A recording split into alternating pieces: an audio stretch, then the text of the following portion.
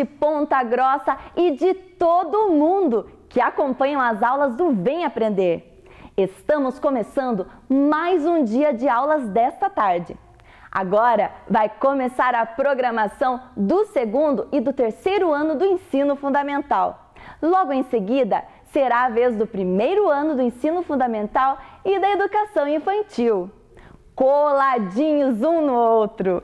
Lembre-se de fazer os exercícios enviados pela sua escola e também aqueles que estão no nosso site isme.pontagrossa.pr.gov.br.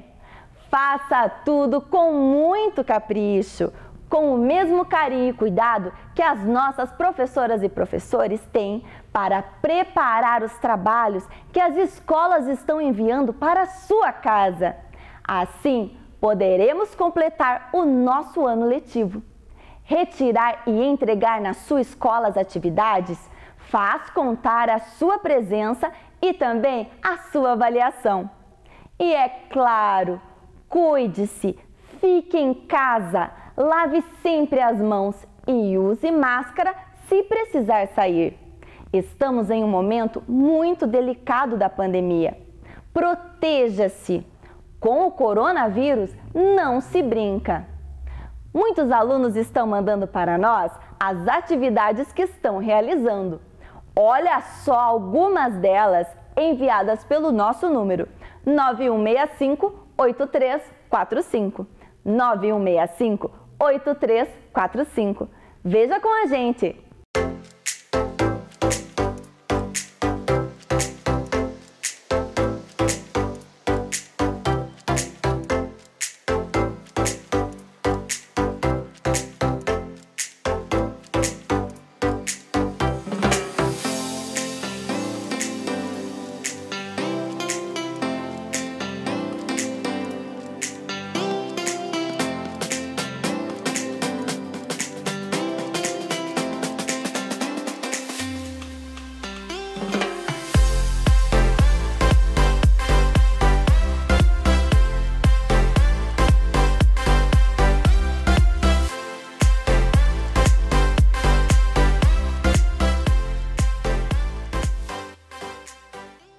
Você acompanha agora as aulas do segundo e do terceiro ano do ensino fundamental. Vamos lá?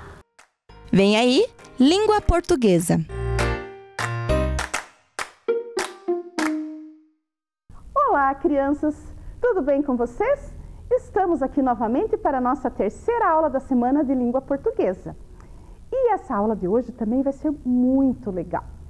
Vamos lá?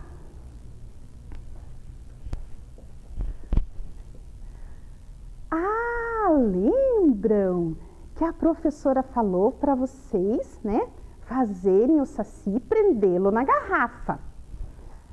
Mas eu também pedi para mandarem fotos, né, pelo WhatsApp do programa. E olha só, a Mariana e a Maria Rafaela da escola Jorge Deschamps fizeram os sacis e os delas já estão presos na garrafa, né? Presos nas garrafas. Parabéns, meninas! Missão cumprida. Todos vocês vão ter que cumprir essa missão, ok? Olha lá, elas pintaram, recortaram e os seus sacis estão presos nas garrafas. Olha que bacana, ó, o da Maria Rafaela e o da Mariana. E a professora espera que todos vocês façam assim também, tá bom? Muitos sacis presos na garrafa. Vamos começar a nossa aula? Vamos pegar o caderno, o lápis, a borracha, né? E deixar aí do ladinho para nós se preocuparmos. Tudo bem? Vamos continuar. Anotem no seu caderninho a data 19 de 8 de 2020 e seu nome completo. Com certeza vocês estão escrevendo todos os dias, vocês já sabem de cor, né? E às vezes é bom pedir para a mamãe dar uma olhadinha para ver se está certo, né? Estão fazendo com letra maiúscula. Enquanto vocês terminam, a professora vai ler os objetivos de hoje. Ler e compreender textos de diferentes gêneros, reconhecer a diversidade da cultura brasileira, identificar substantivos simples e composto. O folclore faz parte da cultura popular brasileira. O nosso Brasil, o folclore é rico, ele é diversificado de acordo com cada região. Né?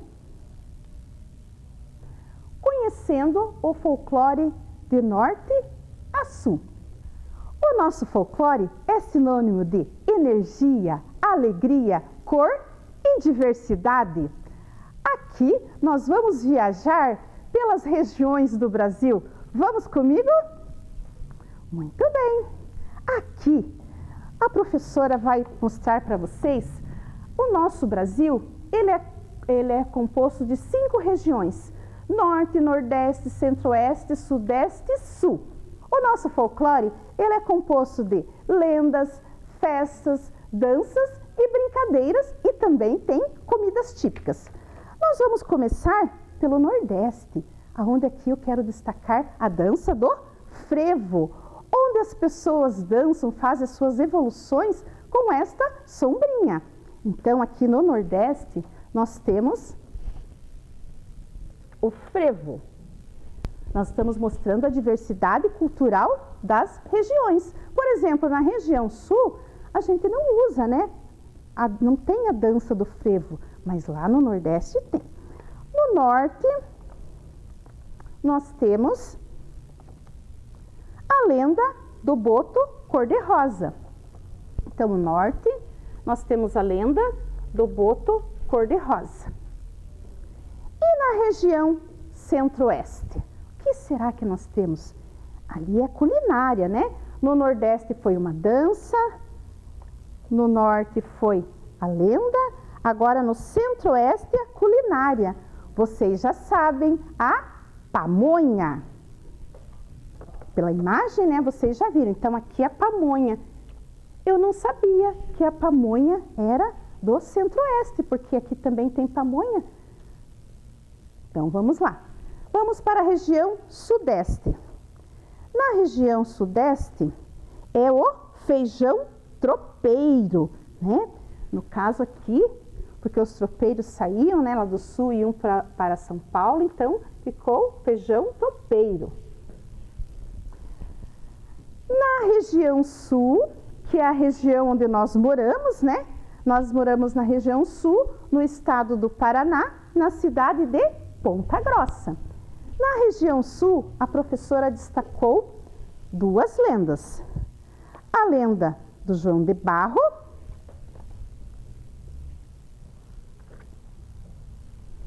e a lenda da Gralha Azul, que são lendas da região sul. Então, aqui está o nosso mapa, né? O nosso Brasil com sua diversidade cultural. E o Brasil é um país imenso e as suas diversidades culturais são muito ricas. Então, vamos para continu vamos continuar nossa aula. Nós temos ali na região sul, nós temos a lenda do João de Barro. E a professora vai contar essa lenda para vocês. Vocês querem ouvir? Então vamos lá. Então vamos começar. João de Barro. Enquanto existir terra e água, muito barro, eu vou fazer para construir casas. Era nisso que João sempre pensava, enquanto amassava a terra carinhosamente. Mas o sol nascia e João já iniciava seu trabalho. Ele adorava erguer as casas e depois cobri-las com capim. Olha lá o João amassando barro com a sua enxadinha, né? E construindo a sua casa de barro. Sua fama corria o mundo. Todos queriam que suas casas fossem feitas por ele. Certo dia, João partiu para atender um chamado muito especial. A muitos quilômetros dali, uma cidade inteira havia sido destruída na guerra. No fim das lutas, os homens daquela região seguiram os exércitos. Então as mulheres e os velhos e as crianças ficaram abandonados à sua própria sorte. João caprichoso que, além de escolher o melhor local para a morada, ele se preocupava em construí-la voltada para o sol. Assim, não faltaria luz naquele lar. Veja como está iluminada a casa, né?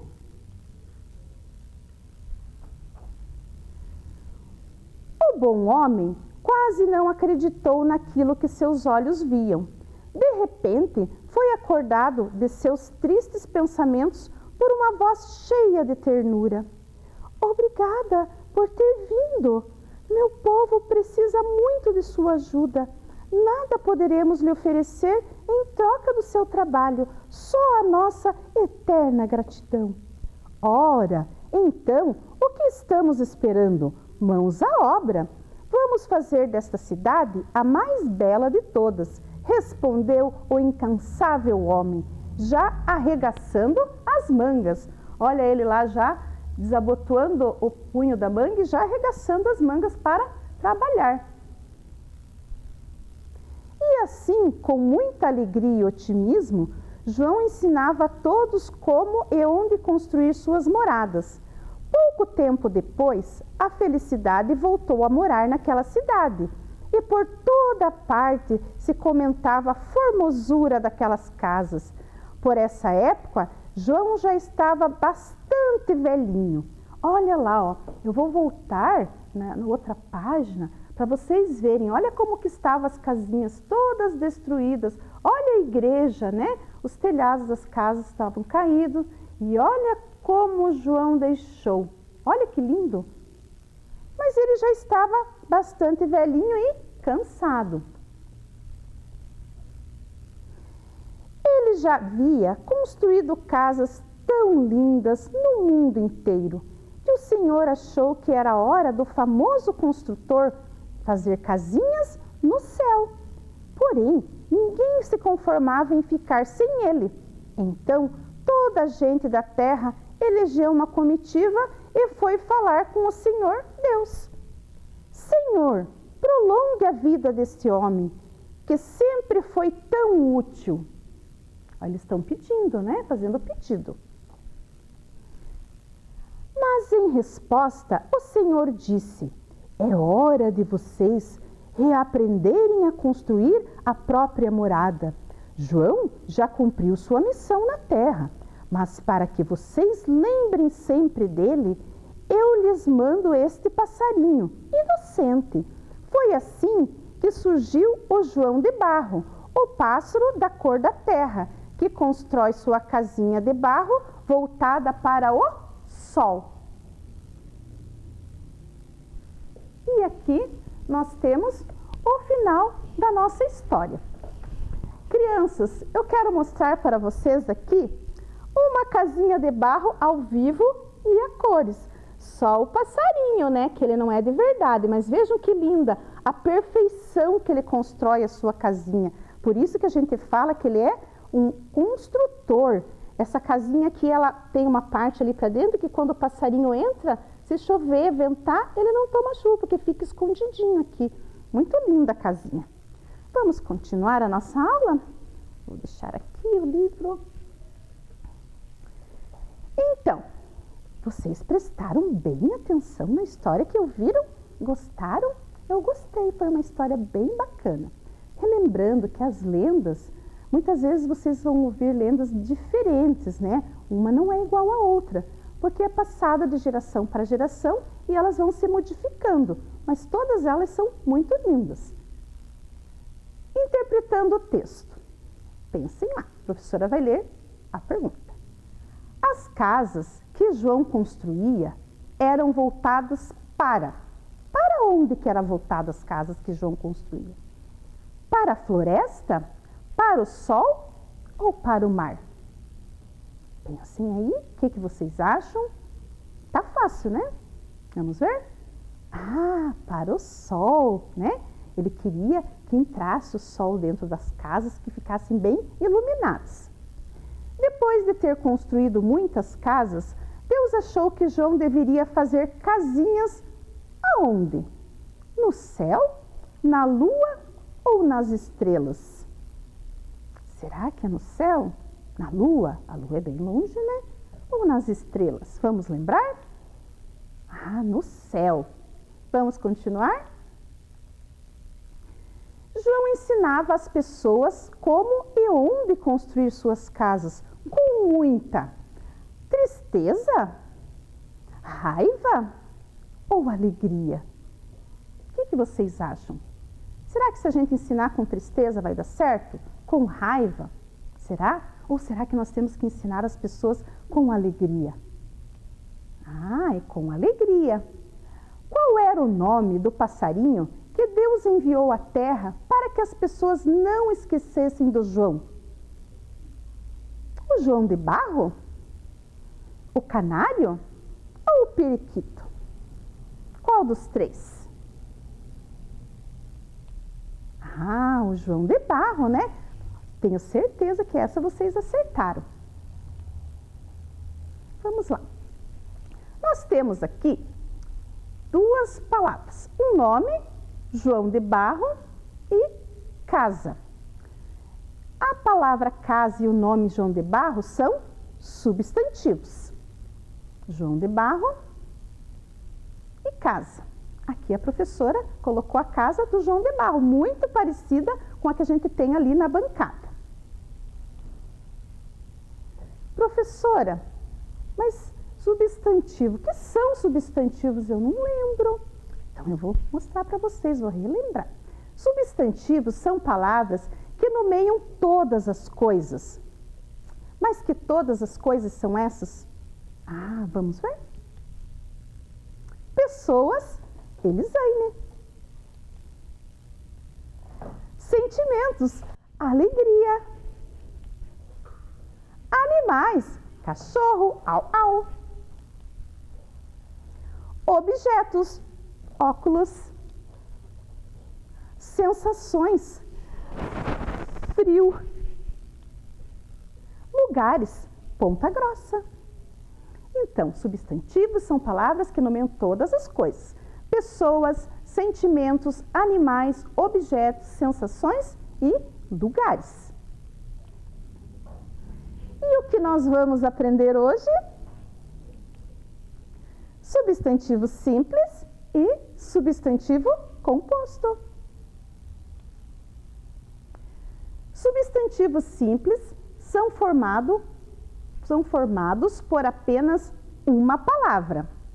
Menino, cadeira, cachorro, telefone, flor menino, cadeira, cachorro, telefone, flor.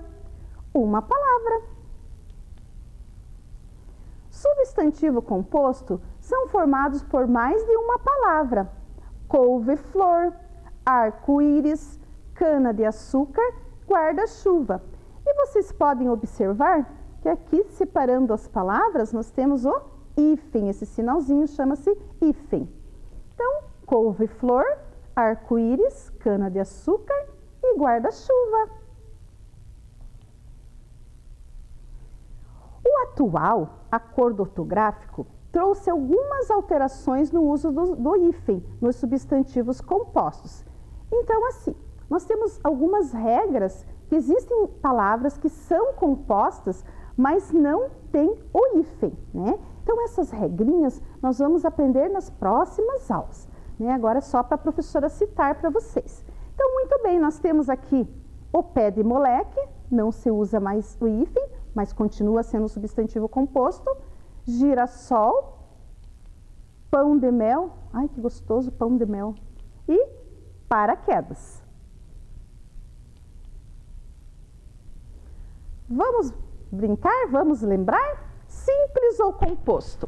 Olha que delícia! Cachorro quente. Cachorro quente é um substantivo simples ou composto? Pensem aí, será que é simples? Será que é composto? Lembra o que eu falei? Lembra? Olha lá, ó, tem um sinalzinho, já dá para vocês saberem, né? Acertaram? Substantivo? Composto, muito bem. Sorvete, que delícia! Sorvete. Substantivo simples ou substantivo composto? Olhem na palavra. É uma palavra, composto de uma palavra, duas palavras? Substantivo simples é composto de uma palavra. E essa flor, copo de leite, né? Ele é um substantivo simples ou composto? Ah, substantivo composto, ó, composto por mais de uma palavra.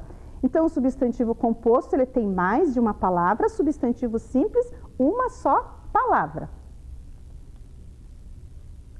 Agora nós vamos brincar. Vocês gostam de brincar? Vamos jogar. Jogo dois substantivos, simples ou composto? Vamos para a nossa bancada. E agora, novamente, eu vou convidar a professora Edilene para participar, né, deste jogo. Nós vamos jogar juntas. Tudo bem, professora? Tudo bem, Estamos na terceira aula juntas, né? Novamente. Só jogando. Novamente aqui jogando, professora Elisane. São Tudo jogos bom? que vocês podem fazer em casa, né? Exatamente. Então aqui, professora Elisane, nós temos fichinhas, Uhum. né?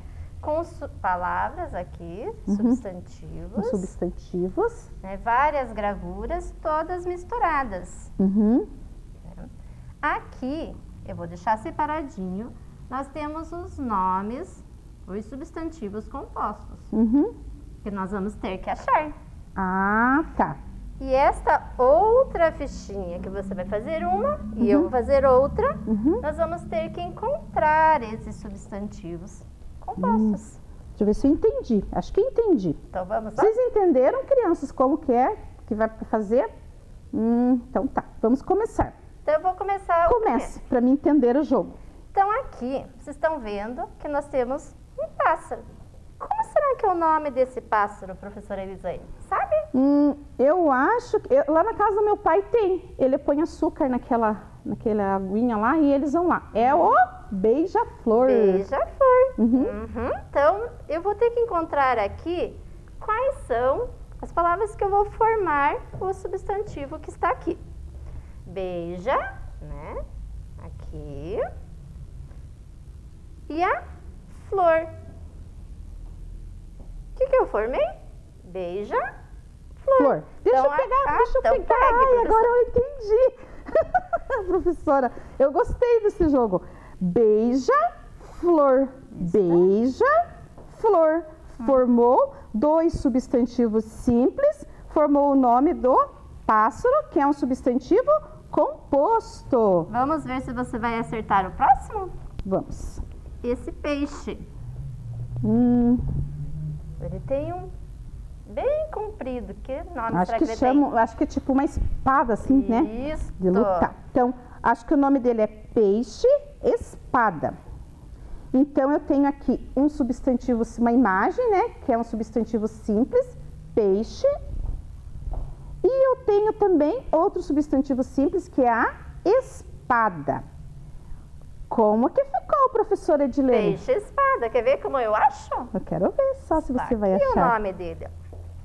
Viu que legal? Ah, peixe espada, muito bem. Agora é a minha vez. Tá bom, então vai. Hum, esse todo mundo tem em casa. O que será que é? É um guarda-roupa. Ah, é mesmo, todo mundo guarda ah, eu vou roupa. pegar a guarda. Guarda roupa. Aqui está a figura. Você quer eu achar o escolho, nome? eu escolho, aham. Então, assim, guarda. Então, isso aqui tá aqui, outro aqui, guarda. Ro, ro. Não, aqui é guarda-chuva, não é esse aqui. Não é este. Então, guarda, ro, ro, R-O, roupa. Guarda-roupa, professora Edilene, consegui encontrar. Olha que, que legal. Uhum, Então vamos colocar aqui ao lado. Esse é parecido com o que você Nossa, é trouxe. mesmo, vou até abrir. Estou aqui com, com ela. Ah, vamos abrir. Olha só. Nós temos também a sombrinha, né, que ela está, e temos guarda-chuvas também coloridos. Hum, Então, guarda, vou achar aqui. Guarda chuva. deixa eu olhar aqui por baixo. Hum, guarda-chuva. Bom, eu já aprendi que tinha nessa outra palavra guarda. Aqui tá guarda, só pode ser esse, guarda-chuva. Guarda-chuva. Acertei. Agora, professora, esta flor quase nem existe mais, é difícil de ser encontrada. Você sabe o nome? Eu sei, quando eu era criança, muito tempo atrás, tinha nos jardins. então vamos lá. É, copo de leite, esse eu sei. Uhum. Então vamos lá. Aí só, sobrou só uma, né? Então vamos ver se tá certa a palavra. Seio, co, co, que nós aprendemos, né? Na primeira aula lá, família silábica do C. Copo, deio, e, de, de. Elho, ele, leco e leite. Ah, é sim, essa palavra. Mas agora eu tenho que. Essa palavra, essa imagem é formada de dois substantivos simples, é isso? Isso aí. Hum, então, copo de leite. Aqui, que legal. Olha só. Fácil de entender, não é? Fácil. Eu gostei desse jogo. Olha. Vamos ver se nós mandamos nas atividades para vocês assim, ó, para vocês fazerem o jogo também. Então vamos lá, vamos ver os substantivos que formaram, professora Edilene? Vamos lá. Pode ler esses aqui. Guarda-roupa, peixe, espada, beija, flor. Copo de leite e guarda-chuva. Cada um desses substantivos compostos que estão no meio do, aqui do papel, né, que está na figura do meio, é formada por dois substantivos simples que estão nas laterais. Conseguiram entender, crianças? É muito legal esse jogo, né?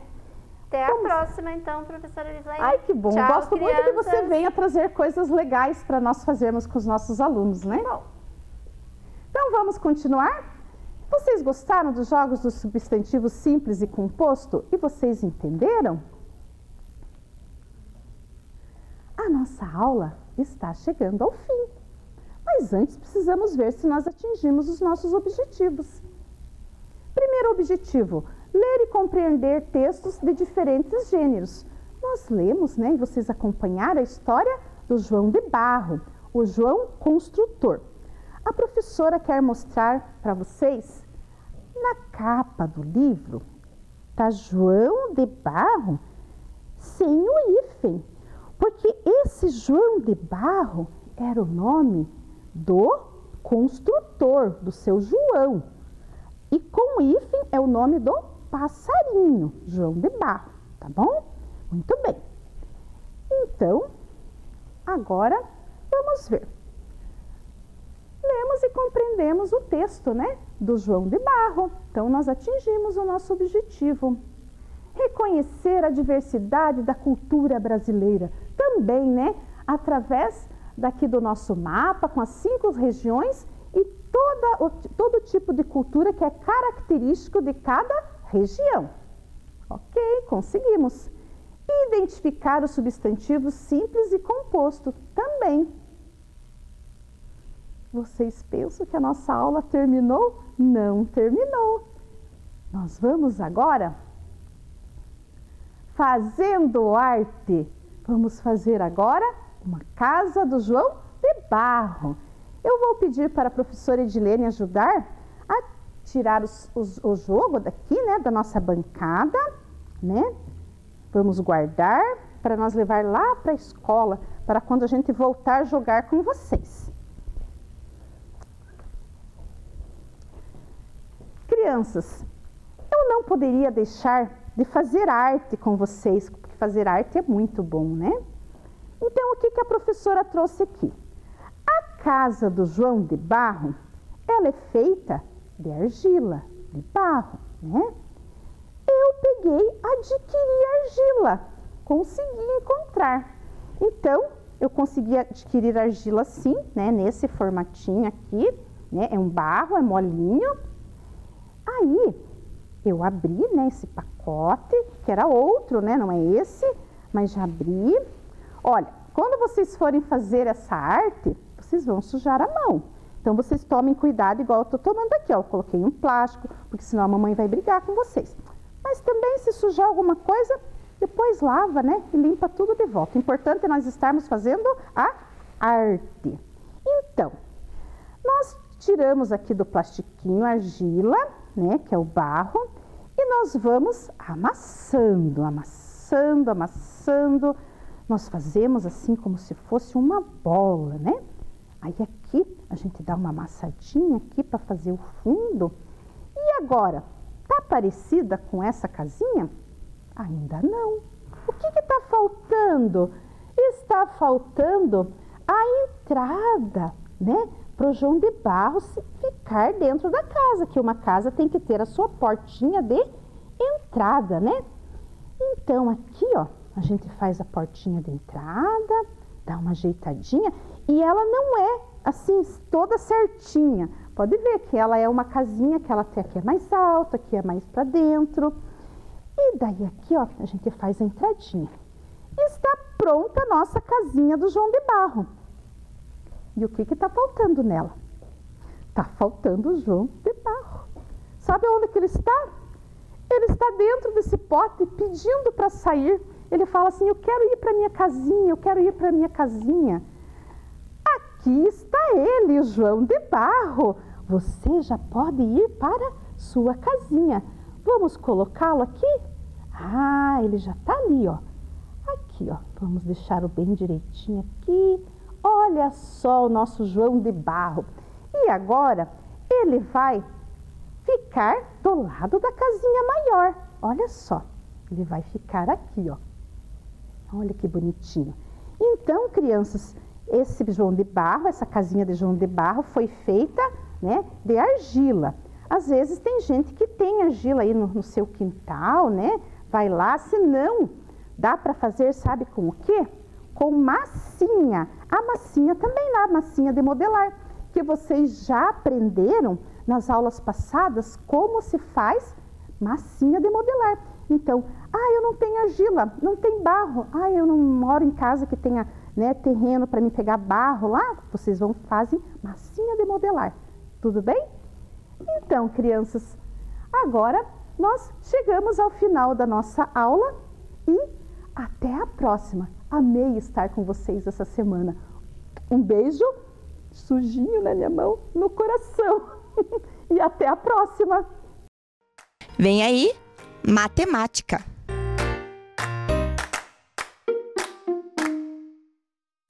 Olá, crianças! Estamos aqui para mais uma aula de matemática. Estamos encerrando as três aulas de matemática dessa semana.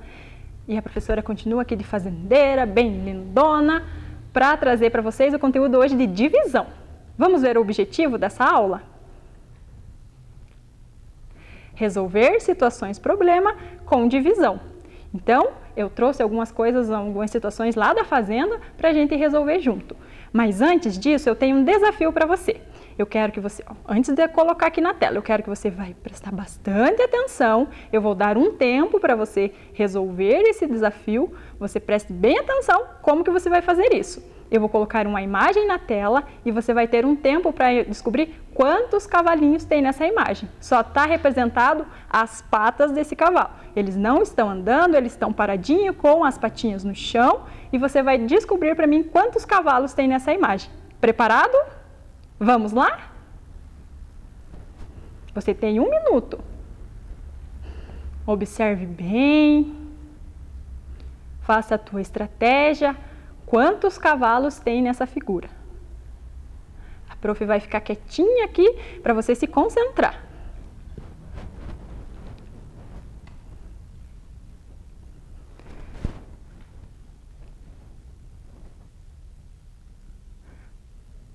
Olha lá, falta 30 segundos. Lembra, um minuto tem 60 segundos. Já chegamos na metade, está diminuindo. Você já conseguiu?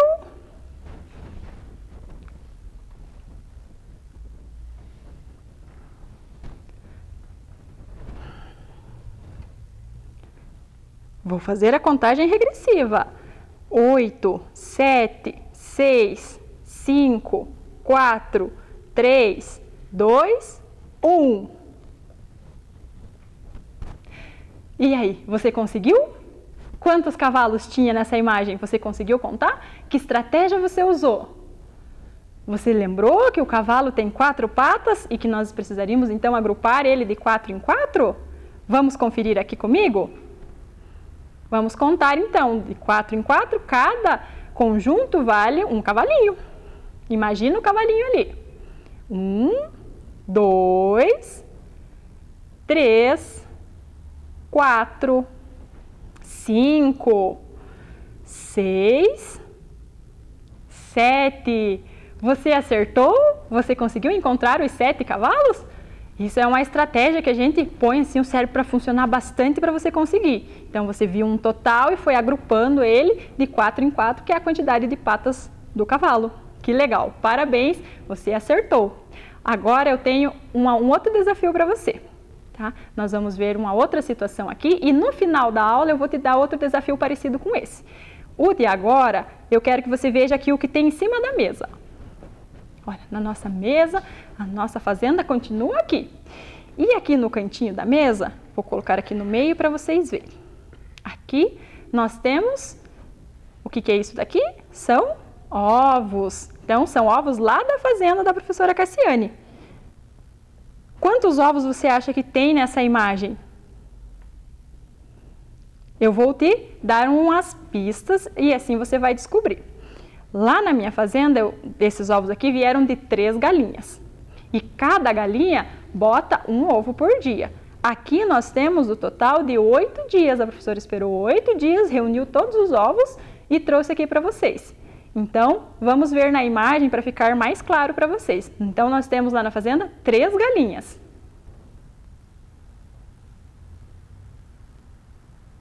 Olha lá, uma branquinha, uma marrom e uma azul, lembrando aquela galinha da Angola, bem pintadinha. Quantos ovos cada galinha bota? Um ovo por dia. Mas a professora disse que juntou aqui no ninho durante oito dias. Então vamos ver lá os oito dias. Então, mais um para cada, já tem três, agora quatro, cinco, seis dias, sete dias, oito dias. Observe bem lá. Então, para cada galinha, botando um ovo por dia, oito ovos. Quantos ovos nós temos então no total? Você já conseguiu contar? 24 ovos, isso! Muito bom, e é o que eles estão aqui na mesa da professora Cassiane, certo? E esses ovos, olha aqui, nós temos também as embalagens aqui, ó. Que a professora também pega esses ovinhos e leva lá na feirinha do produtor para vender. Porque tem, a gente gosta, não gosta de um ovinho frito, um ovinho mexido? Então, vai lá e compra. Então, para comprar, alguém tem que produzir. E é lá na fazenda com as galinhas que a gente produz esses ovos. Então, eu vou distribuir nas embalagens aqui que cabem meia dúzia.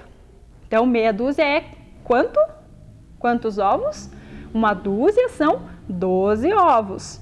Meia dúzia, 6 ovos. Então, nas nossas embalagens aqui, para 6 ovos. Vamos ver quantas embalagens eu vou conseguir ocupar com esses ovos aqui? Então, eu vou começar com a primeira embalagem aqui. Vou colocar os seis ovos. Dois, três, quatro, cinco, seis. Seis ovos, dá até para fechar. Próxima. Uma, duas, três, quatro, cinco, seis. Olha, já temos duas caixas aqui, ó, prontinhas para ser levada, mas ainda tem ovos no ninho. Vamos para a próxima aqui, então. Para a terceira caixa. Uma, dois, três, quatro, cinco, seis. Olha, então fechamos a terceira caixa e eu ainda tenho aqui no ninho ovos das galinhas lá da fazenda. Vamos então agora para a quarta caixa.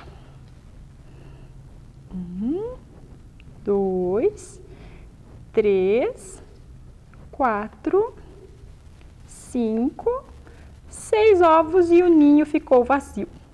Então, colocamos todos os seis ah, nas caixinhas, os seis ovos nas caixinhas, não sobrou nenhum e nós preenchemos, olha só. Quantas caixas? Quatro caixas, então nós dividimos lá os 24 ovos nas quatro caixas e ficou aqui do lado uma caixa vazia. Quantos ovos eu precisaria para preencher aqui? Um, dois, três, quatro, cinco, seis ovos também. Vocês lembram que lá as galinhas botam um ovo por dia e são três? Então, no primeiro dia elas vão botar três ovos, no próximo dia, mais três ovos. Quantos dias vou precisar então? Dois dias, mais dois dias e eu preencho mais essa caixinha aqui. Olha que legal. Então, eu vou deixar aqui junto com o ninho vazio. Vamos tirar a palha do ninho daqui. E eu já tenho essas quatro aqui prontas para eu levar. E como que funciona? Eu levo, eu separei aqui com a sua ajuda, então eu vou levar na feirinha e eu recebo o dinheiro, o valor das que foram vendidas semana passada. Então é sempre assim. Eu levo os de hoje para eles venderem, semana que vem eu recebo o que eles venderam, certo? Então, vou levar essas quatro e vou receber da semana passada. Na semana passada eu levei 10 caixas. Cada caixa dessa é vendida a R$ reais. Então, quanto que eu vou receber? Vamos fazer essa conta para chegar lá na hora e eu já saber o quanto que eu vou receber. Vamos fazer juntos? Então, cada caixa eu vou receber R$ reais por ela. Quantas caixas eu falei que eu vendi semana passada? 10 caixas. Então, eu vou multiplicar 10 caixas vezes 3. Então, lembram que a gente viu já isso de como fazer a continha de multiplicação com a tabuada? Vamos colocar a tabuada do 3 aqui do lado e a gente vai procurar. Primeiro, 3 vezes 0. 3 vezes 0 é 0. Então, eu coloco embaixo ali da unidade. Depois, 3 vezes 1. 3 vezes 1 é igual 3. Então, eu coloco lá. Quanto que eu vou receber? O valor a receber será de 30 reais. Mas vejam bem aqui com a professora agora. Esses 30 reais não é só lucro, né?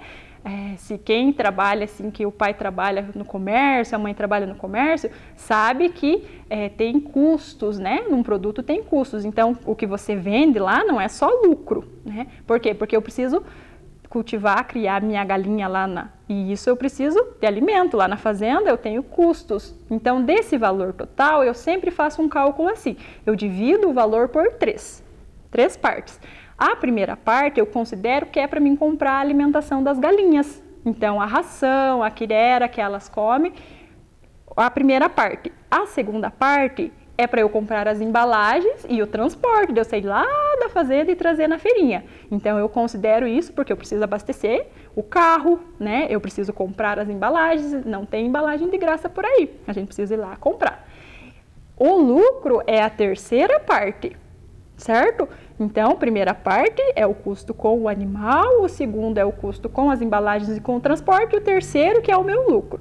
E daí, com o lucro, eu posso investir, eu posso guardar no cofrinho, eu posso comprar mais uma galinha, né, para aumentar o lucro, ou eu posso guardar para comprar um doce depois, porque a professora também gosta de doce.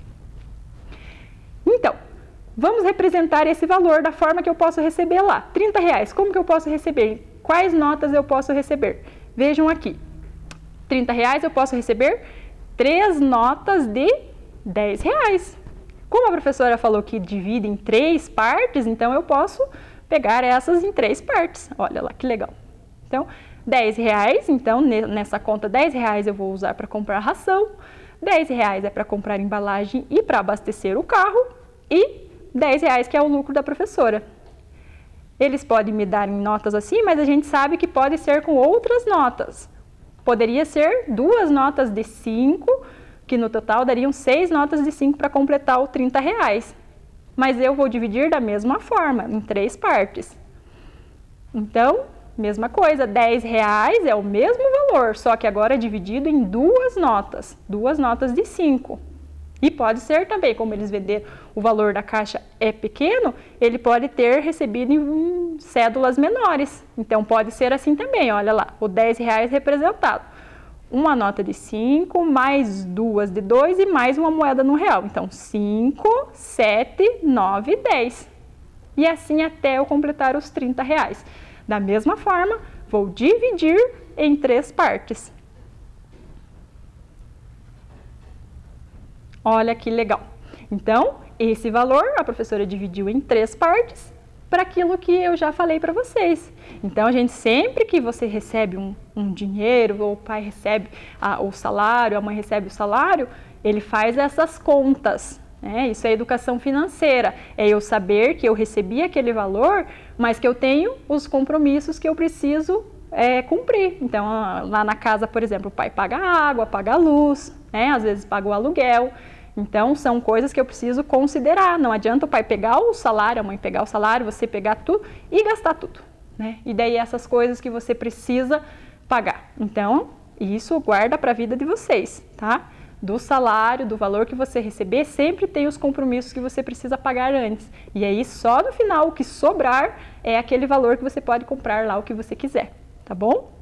Então, a professora vai colocar aqui do ladinho as caixinhas que eu vou levar depois, olha que legal.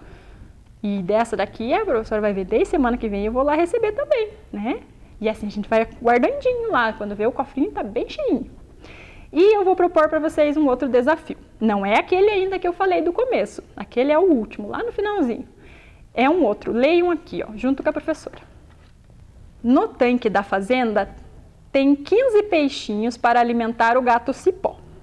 Ele come três peixes por dia. Quantos dias terá peixes no tanque para pescar? Olha, os, os peixinhos estavam representados lá e estão aqui, ó. A professora trouxe o tanque de caracola da fazenda dela, porque a professora gosta de paisagismo. Olha que lindo esse tanque. E tá aqui o gato cipó, olha lá. Ele é, adora comer peixe. E o que, que a gente usa para pescar? A varinha de pescar. Então, ele tem a varinha, a linha e o anzol aqui na pontinha, certo? E a pergunta é, quantos dias o cipó vai ter peixinhos na lagoa para comer? Lembra, tem 15 peixinhos e ele come 3 peixinhos por dia. Então, a professora trouxe aqui os dias da semana para a gente ver juntos. Olha aqui, vou pôr na frente do nosso tanque, puxar o tanque aqui para trás. O cipó vai ficar aqui do ladinho e aqui estão os dias da semana. Você lembra os dias da semana? Então, primeiro, domingo, segunda, terça, quarta, quinta, sexta, sábado. Quantos dias tem? Sete dias, ó. Um, dois, três, quatro, cinco, seis, sete dias. E em cada dia ele vai comer três peixinhos. Vamos ver quantos peixinhos, quantos dias ele vai ter garantido de peixinho com esses 15 aqui do tanque. A professora vai pescar eles, tá? Então, você vai acompanhar a professora pescando e a gente vai separando de três em três, que é a quantidade que ele come. Certo? Vamos lá?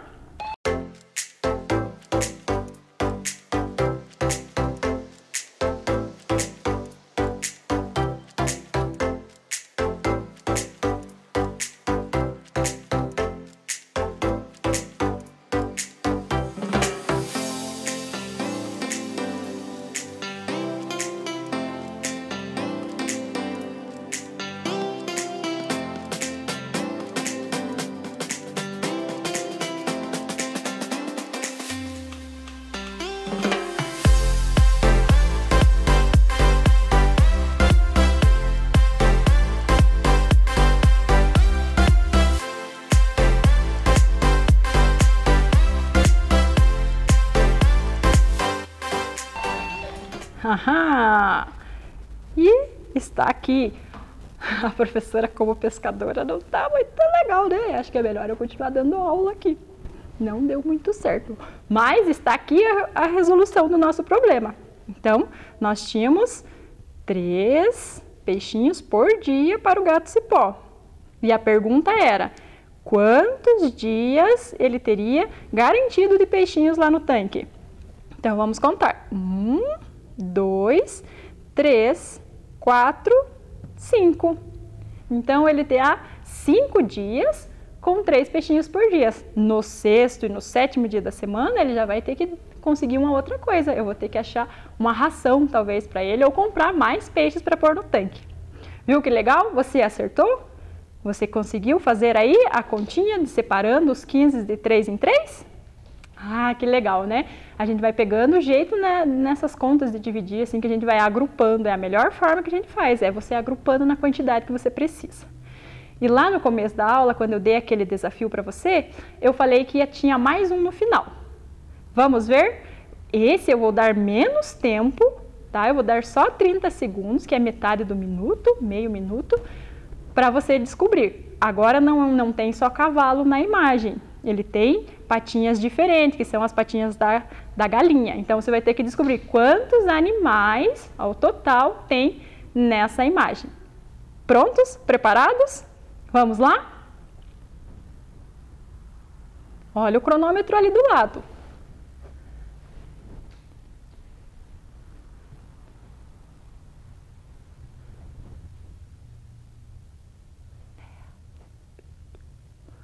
Quinze segundos. Olha, contagem regressiva lá. Cinco, quatro, 3, 2, 1. E então, você conseguiu? Vamos conferir então. Você agrupou também, como nós já vimos no começo, o cavalinho, quatro patas de quatro em quatro. Então, um, dois, três, quatro, cinco. E agora, como que você fez para descobrir a patinha da galinha. Quantas galinhas tem aqui? Olha, aí tem uma pegadinha. Se você agrupasse e falasse para a prof que tem duas galinhas ali, quer dizer que você considerou que as galinhas têm quatro patinhas. As galinhas têm quatro patinhas? Não, as galinhas têm duas patinhas. Então aqui a gente vai agrupar de dois em dois. Vamos ver então? Uma galinha, duas, três, quatro. Quanto, olha a pergunta: quantos animais tem nessa figura ao todo? Vamos contar então. Dos cavalos nós tínhamos cinco cavalos, mais quatro galinhas. Então nós temos no total nove animais nessa figura. Outra forma também de a gente agrupar e prestar atenção na forma que a gente vai agrupar. Então nós vimos ali dividindo por 4 e depois dividindo por 2, porque as galinhas têm duas patinhas. Viu? É simples, se a gente prestar bastante atenção, a gente vai pegando o jeito muito rápido, porque são coisas do nosso dia a dia, coisas que a gente vê na TV, né? Isso é bem legal. E vamos então conferir agora se nós atingimos o objetivo da nossa aula de hoje. Você lembra qual era? Resolver situações problema com divisão. E foi o que nós fizemos, né? Nós fizemos várias formas aqui, várias citações. Nós fizemos também a multiplicação, porque a multiplicação e a divisão andam juntas. Uma é, complementa a outra, tá? Então, da mesma forma que a gente consegue multiplicar por 3, a gente consegue dividir por, por 3, tá? Então, nós vamos aprendendo isso e daí fica mais fácil, né? Bem mais tranquilo da gente resolver quando a gente entende que uma coisa está relacionada com a outra. Nada está separado, sozinho, isolado, certo? E tem uma tarefinha para vocês lá. Vamos conferir, ler juntos, que daí a professora ajuda vocês. O cachorrinho bingo de Júlia ganha dois petiscos por dia. A mãe de Júlia comprou dois pacotinhos de petiscos com 10 unidades cada. Por quantos dias bingo tem petiscos garantidos? Veja lá, a gente tem que pegar as informações principais. Então, primeiro que nós vamos fazer a divisão por dois, porque ele come dois petiscos por dia, como nós fizemos dos peixinhos. E aqui tem uma pegadinha também, tem um segredinho. Não é um pacotinho de 10, são dois pacotinhos com 10 unidades. Então, você vai ter que fazer essa multiplicação, você vai ter que somar os dois pacotinhos com 10, quanto que tem no total. E aí sim você vai agrupar de dois em dois. Você pode desenhar os petiscos, se você quiser, naquele espaço, circular de dois em dois, ou você pode também é, fazer, em vez de fazer os petiscos, pode fazer risquinho pode fazer a conta, pode procurar na tabuada, da forma que você conseguir. Então a pergunta é: por quantos dias bingo tem petiscos garantidos? Você vai responder essa pergunta. Ele tem e vai escrever a resposta por tantos dias, tá bom? Então é bem tranquilo, se precisar você pode rever essa aula lá no, no Facebook, no site da SME, tá bom? Então, um beijo e até a próxima! Vem aí, Formação Humana, Ensino Religioso. Olá, amiguinhos! Tudo bem com vocês? Eu sou a professora Gisele. Bem-vindos a mais uma aula de formação humana e ensino religioso. Vocês conseguem lembrar o que nós falamos na nossa última aula de formação humana e ensino religioso? Pois bem, olhem aqui. Lembram que nós falamos sobre os símbolos religiosos?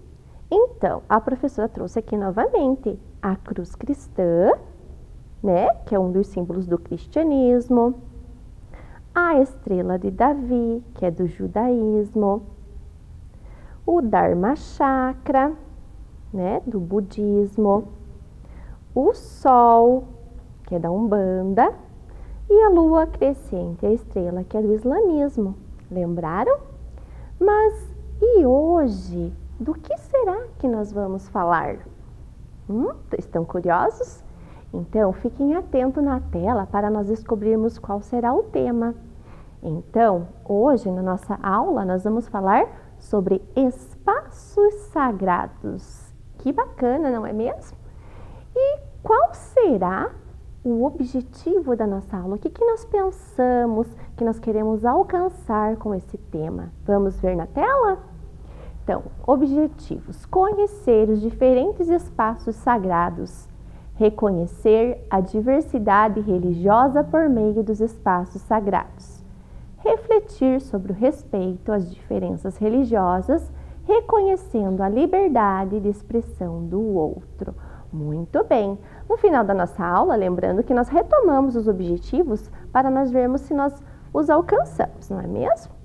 Mas, para iniciar a nossa aula, a professora vai apresentar para vocês uns personagens bem bacanas que farão parte de uma história que eu vou ler para vocês. Então, olhem bem quem são os nossos amiguinhos. Então, nós temos aqui o Davi, tá? Que é um menininho judeu, o Joãozinho, que nós vamos descobrir na história qual a religião dele, a Ioko,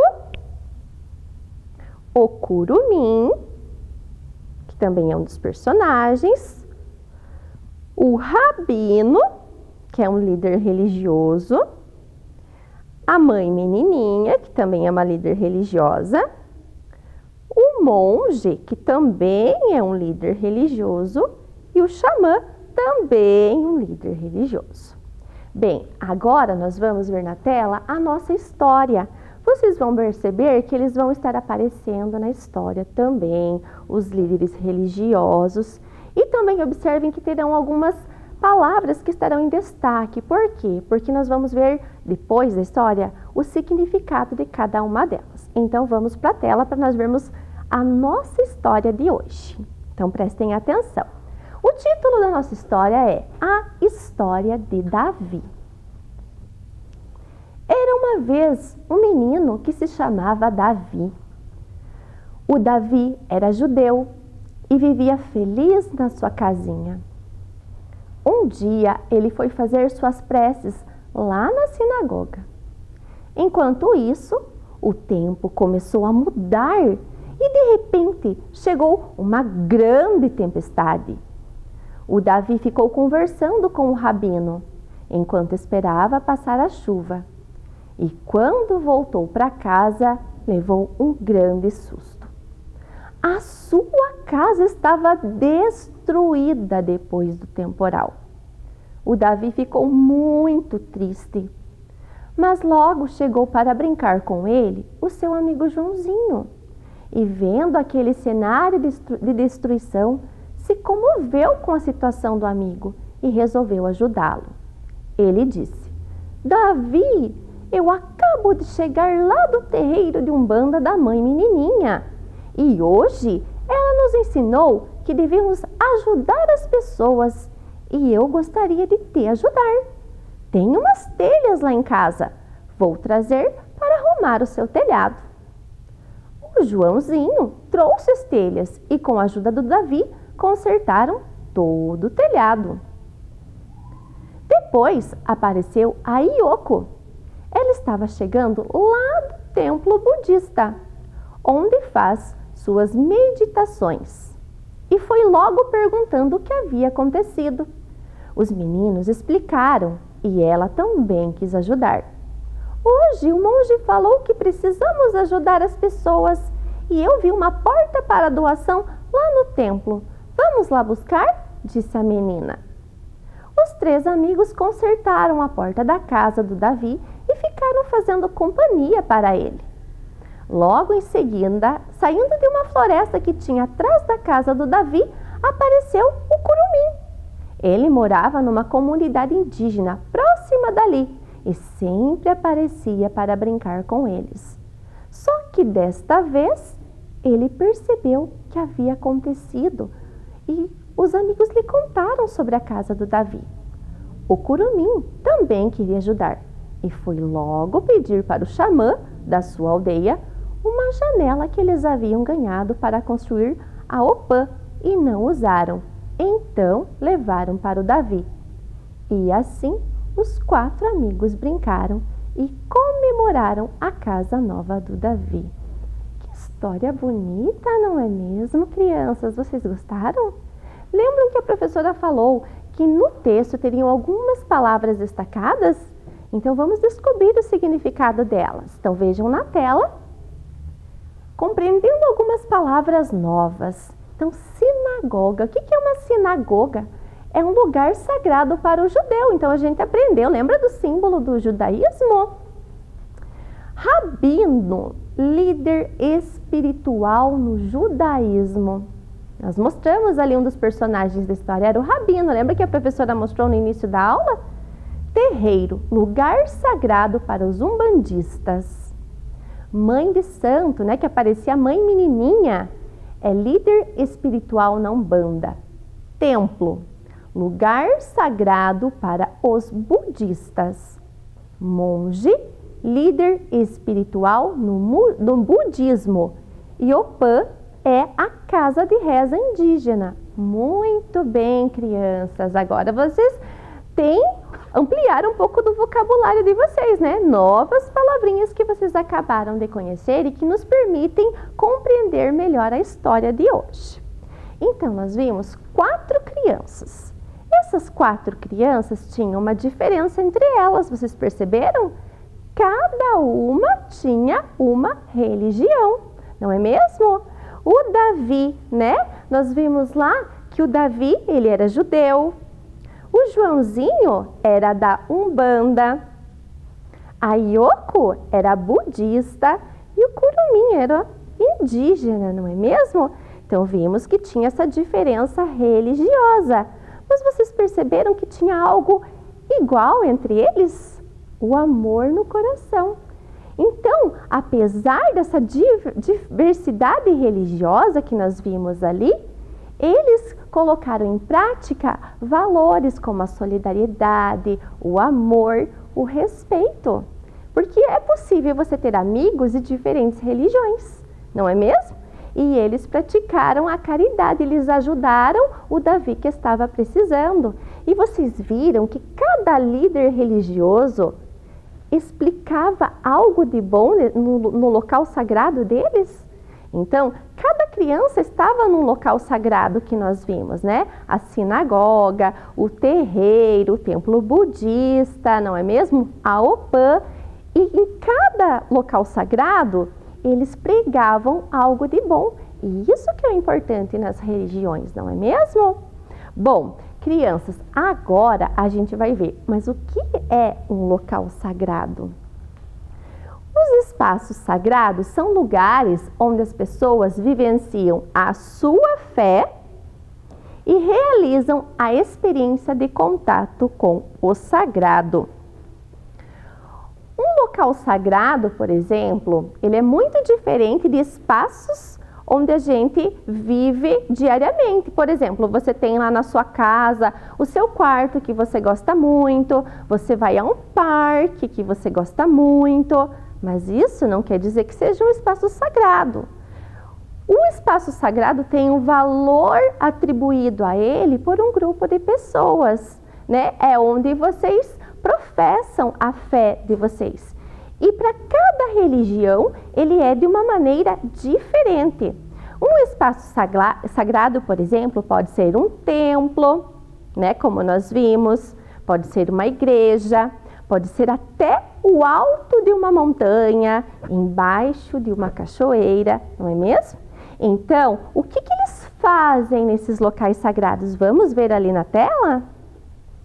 A função do espaço religioso, então, é ter contato com o sagrado, realização de práticas devocionais e rituais, celebrações religiosas, reuniões de ensino e pregações. E você, aí na sua casa, você já frequentou um espaço sagrado? Será que você já viu um espaço sagrado? Lembram que a professora falou que no mundo tem aproximadamente 10.500 religiões? Pois é, e nós não conhecemos todas. E é impossível trazer para nossa aula todas essas religiões, os seus espaços sagrados, os seus símbolos, mas nós vamos conhecer alguns espaços na nossa aula de hoje. Vamos vê-los ali? Então, vamos conhecer alguns espaços sagrados. Então, cada tradição religiosa organiza o espaço sagrado de acordo com as suas crenças.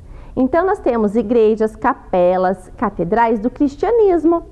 As igrejas, capelas, catedrais e santuários católicos são decorados com vitrais, imagens, estátuas, entre outros símbolos. Nos templos evangélicos não há imagens religiosas, mas podem ter vitrais decorativos e simbólicos. Então ali vejam nossa catedral, né, lá na Praça Marechal Floriano Peixoto e o interior de uma igreja que não é o interior da nossa catedral, é só um exemplo de uma outra igreja, tá? Mais um espaço sagrado, nós vamos ver a sinagoga, lá onde Davi frequentava. É o local de culto de pessoas da religião judaica. Os judeus também usam as sinagogas como locais de reunião e estudos. A coisa mais importante que existe em uma sinagoga é a arca, que contém os pergaminhos da Torá. A Torá é o livro sagrado do judaísmo. Vamos ver mais um exemplo de local sagrado. Então, ali é o terreiro, né, que é da religião da Umbanda. Se refere ao local onde ocorrem as reuniões dos devotos da religião umbandista, bem como rituais e festas dessa religião. Então, qual personagem será que frequentava a, o terreiro que era da religião Umbanda? Lembram? Muito bem, o Joãozinho. E agora nós vamos falar sobre a OPAN, que é a Casa de Reza Indígena. Os povos indígenas realizam suas práticas religiosas em contato com a natureza e em algumas aldeias. Há também a casa de reza chamada OPAN, na língua dos Guarani. Olha que linda, né? Muito diferente do que a gente está habituado a ver, não é mesmo? E agora nós vamos conhecer a mesquita, que é o local de oração dos muçulmanos. Eles costumam reunir-se nas sexta-feiras, ao meio-dia, para oração comunitária. Vocês já viram aqui em Ponta Grossa a mesquita? Ela fica aqui na Rua do Rosário né? Yaman Ali é o nome dessa mesquita. Vejam que bonita e que diferente né, a estrutura dela, não é mesmo? E agora nós vamos ver os templos budistas. É um local destinado à prática religiosa budista, onde se reúnem as chamadas três joias nas quais os budistas procuram a salvação: Buda, Dharma e Sangha. Será dos personagens da nossa história contada hoje que frequentava os templos budistas? A Yoko, muito bem. E vejam que obra arquitetônica que são os templos budistas, né? Não é mesmo muito lindo? Então, crianças, gostaram de conhecer um pouquinho sobre os templos religiosos? São espaços importantes onde as pessoas vão para professar a sua fé e lá elas se sentem bem, se sentem felizes. É importante que você e sua família, se vocês tiverem uma religião, vocês encontrem um espaço onde vocês se sintam à vontade. Assim como pessoas que também não têm religião, não frequentam nenhum templo, mas elas têm a maneira delas, não é mesmo? Então, agora, para nós fixarmos o nosso conteúdo de hoje, nós vamos fazer um jogo. Vocês vão escolher uma bexiga colorida e nós vamos ver qual religião que tem dentro e vamos achar que local sagrado se refere. Então, diga uma cor. Rosa? Então, vamos ver o que, que tem na rosa. Na rosa, nós temos o judaísmo. Então, vamos ver aqui. Qual que é o local sagrado do judaísmo? Vocês estão percebendo aqui? Aonde que está? Será que é aqui? Muito bem, crianças. Lembram lá? Então, aqui, ó, local sagrado do judaísmo, onde o Davi frequentava, né? Nosso amiguinho Davi. Mais uma cor transparente aqui. Então, vamos ver o que, que tem na transparente. Hum, vejam lá. Islamismo. Então, qual é o local sagrado do islamismo? Será que é este aqui? Vamos ver? Muito bem, crianças! É aquele templo que tem aqui na Rua do Rosário, em Ponta, Ponta Grossa, né? Mas existem vários outros pelo nosso país e mundo. Vamos ver outra cor. Azul. Muito bem, vamos ver o que tem no azul. Hum, da Umbanda. Quem lembra o amigo que frequentava a religião da Umbanda? Ai, Oco, e qual será que é aqui? Hum? Acharam? Muito bem, crianças. Vamos ver a próxima. Qual bexiga vocês querem? Branca ou verde? Preta? A verde? Então a prof vai estourar a verde. Vamos ver. Opa! Vamos ver o que nós temos na verde. Qual a religião? Indígena. Lembram do curumi? Muito bem. Cadê será aqui da indígena? Hã? Lembram que ela tem uma estrutura diferente? Muito bem. Então, aqui é o local sagrado, né? Dos indígenas. E agora, preto ou a branca? Preta? Vamos ver o que temos na preta. Cristianismo. E qual será o local sagrado do cristianismo? Nós temos dois ainda aqui sem, sem acharmos. Qual é? Esse? Não? Ah, muito bem, crianças. Temos aqui como exemplo a nossa catedral, né? Lá na Praça Marechal Floriano Peixoto, aqui no centro. E por último, qual será que está faltando que nós vimos hoje? Aqui vamos ver qual a última. Budismo. Lembra da nossa amiguinha Yoko aqui, ó? Ela era uma criança budista. Então aqui nós temos o templo budista. Muito bem, crianças. Parabéns para vocês! Então, agora vocês conhecem símbolos, símbolos religiosos, locais sagrados e lembrando sobre a importância do respeito à diversidade religiosa. Combinado? Você pode ser amigo de uma criança que não tem a mesma religião que você. Combinado? Então, agora nós vamos ver qual será a nossa tarefa. Vamos ver ali na tela. Número 1. Um, na aula de hoje aprendemos um pouco mais sobre alguns espaços sagrados.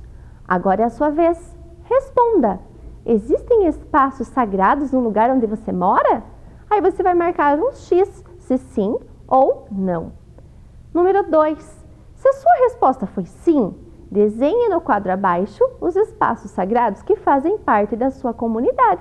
Você pode pedir ajuda para o papai, para a mamãe, para um responsável, ou através mesmo, você já tem observado, né? Você pode fazer esse desenho. Número 3. Leve cada personagem a seu espaço sagrado correspondente. Então, nós temos os nossos amiguinhos da história de hoje, né? Da história de Davi. A Yoko, Curumim, o Davi e João. E embaixo nós temos os locais sagrados de cada religião. A sinagoga, o terreiro, o templo e a opã. E vocês então têm que ligar cada criança ao seu espaço sagrado. Muito bem! Gostaram da tarefa? Ela vai ser enviada pela sua escola e façam com muito capricho. E os nossos objetivos, será que nós alcançamos? Vamos retomá-los? Então vamos ver na tela o que nós conseguimos alcançar. Então, conhecer os diferentes espaços sagrados. Então, a professora Gi trouxe para vocês alguns exemplos de espaços sagrados. É claro, nós temos muitos outros, mas nós conhecemos alguns hoje, não é mesmo?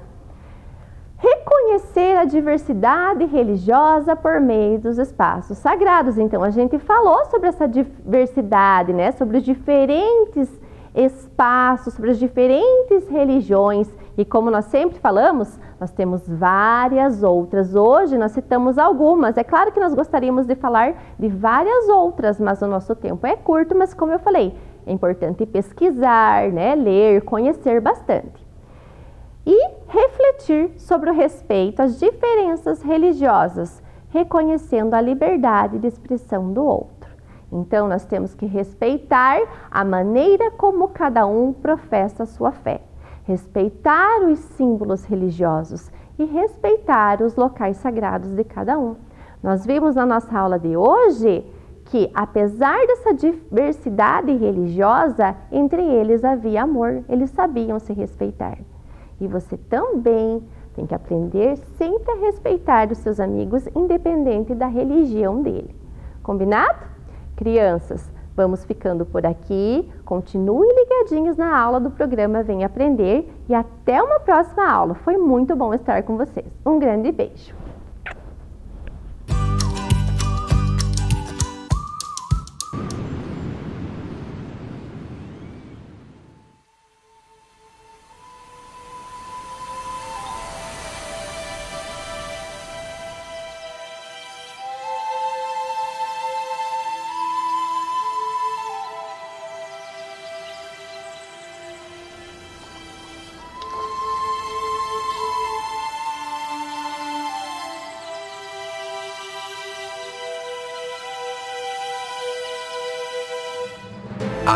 Das Cataratas.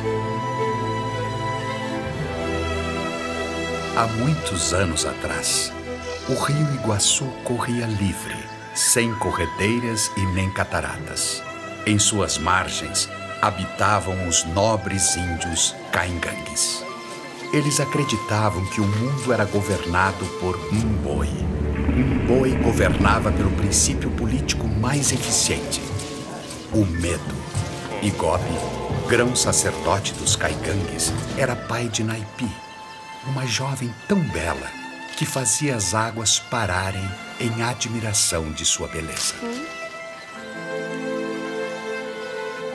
Tarubá, jovem guerreiro, apaixonava-se cada dia mais por Naipi, ignorando as ordens do cacique Igobe de que todos os índios mantivessem distância de sua filha.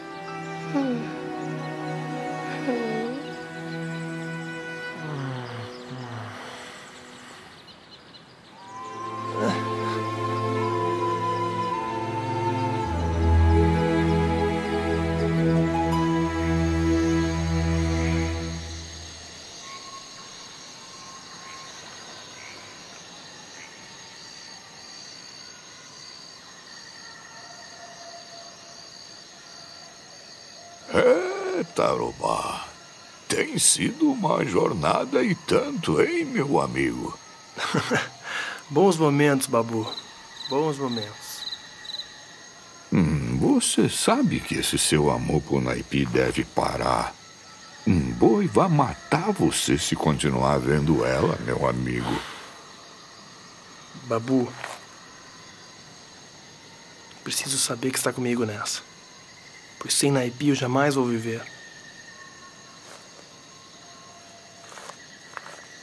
Eu sempre estarei com você. Vá atrás dela. Se é isso que quer, faça. Viva a vida. Não vamos deixar um boi controlar nossas vidas. Nós temos liberdade. Temos o direito de ser feliz. Eu estarei sempre com você, meu amigo.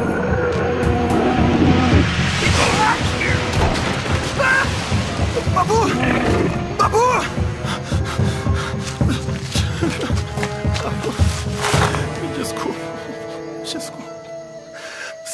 Tinha nada a ver com isso.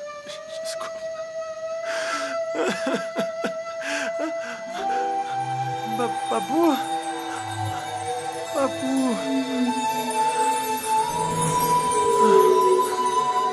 Deus, meu amigo.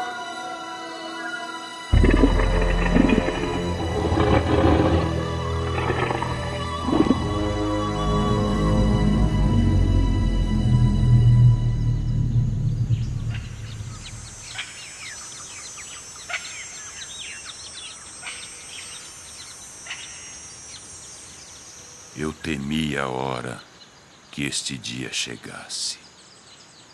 Um boi está insatisfeito. É hora de aumentarmos nossos esforços. Amanhã irei consagrar meu maior tesouro, Naibi, a um boi. Não, Igobi. Este já é o quarto ataque que temos. Chega! Minha doce filha irá trazer a paz que tanto merecemos. Não! A gente faz qualquer coisa, mas não envolva Naipe nisso! Tarobá! Se dói em alguém esta decisão, é em mim! Pai algum, pai algum deve ver sua filha partir.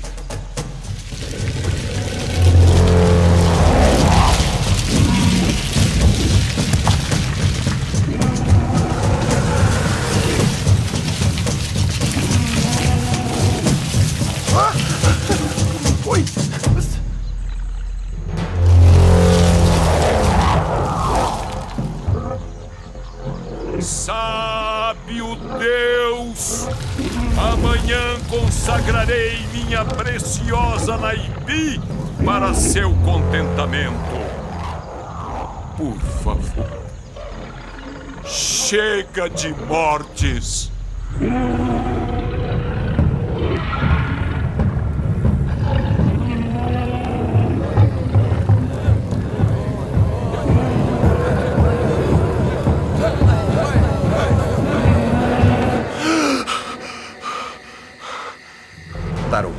Começa a preparar sua canoa para fugir com o seu grande amor. Às vezes, ele imaginava se conseguiria algum dia ter a coragem de enfrentar um boi.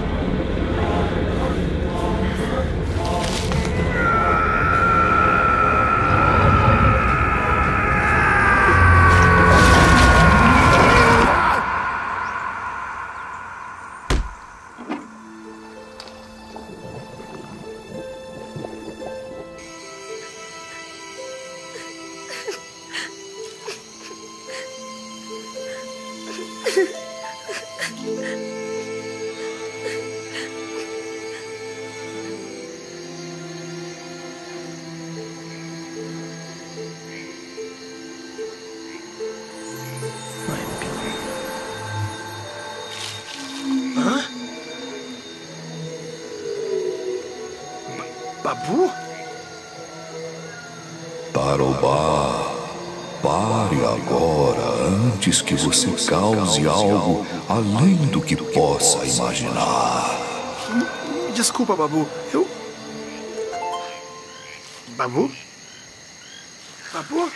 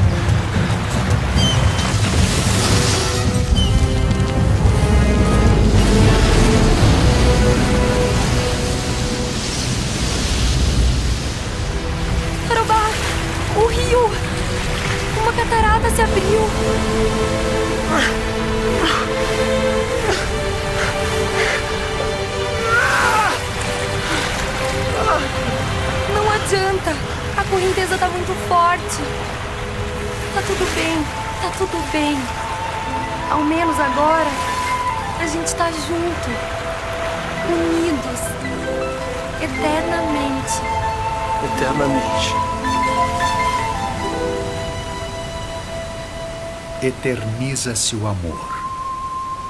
Marca-se o mundo. Permanece o aviso. Naipi foi transformada em uma rocha e Tarobá em uma palmeira, inclinada sobre a garganta do rio à beira do abismo. Debaixo dessa palmeira acha-se a entrada de uma gruta, onde diz a lenda, o monstro vingativo vigia eternamente os dois apaixonados.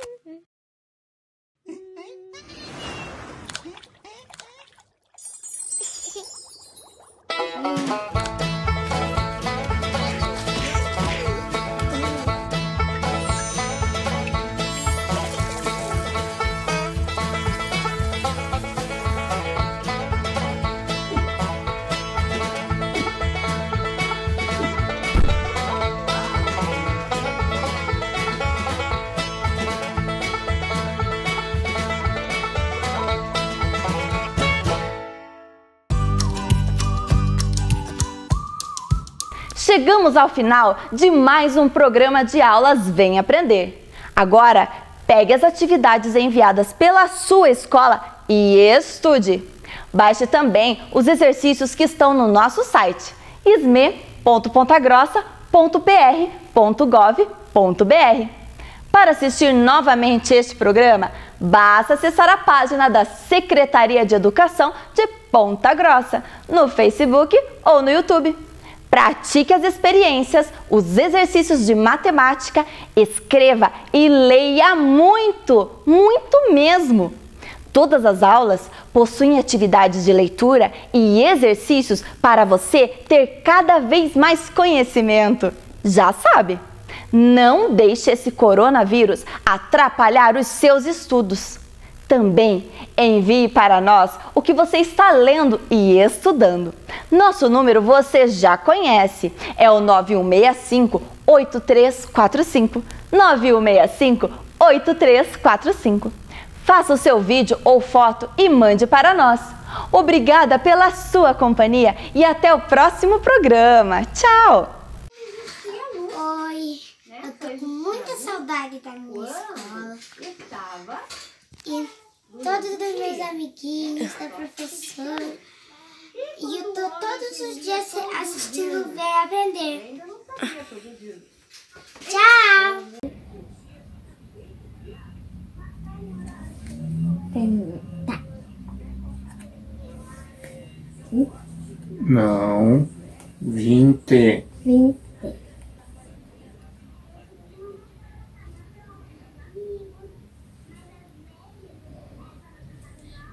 Vinte